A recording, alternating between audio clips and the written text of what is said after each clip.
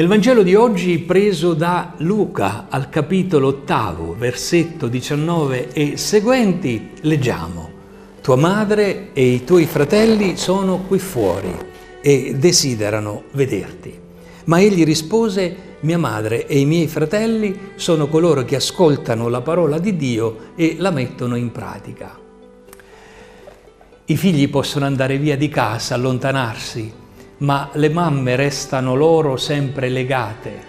Dopo tanto tempo Maria, nella sua umanità, sente forte il desiderio di rivedere suo figlio e così un giorno parte da Nazareth per raggiungerlo lì dove parla la gente. Gesù riceve la notizia che è giunta alla sua mamma, ma non le va incontro, non abbandona la predicazione.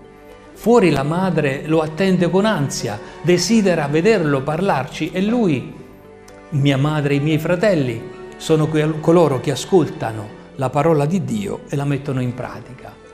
I legami di sangue e di parentela ora contano poco rispetto al regno di Dio che avanza. C'è un nuovo legame profondo, spirituale.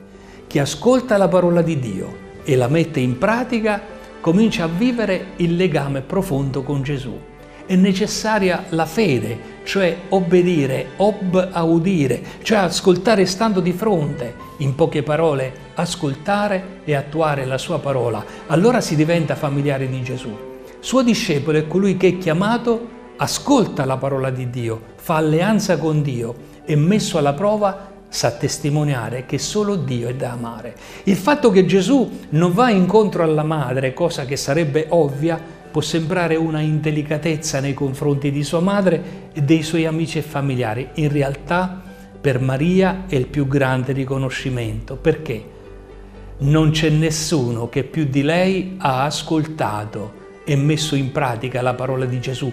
Proprio lei è la perfetta discepola che ha obbedito in tutto alla volontà di Dio. A tutti auguro una buona e serena giornata nella pace del Signore.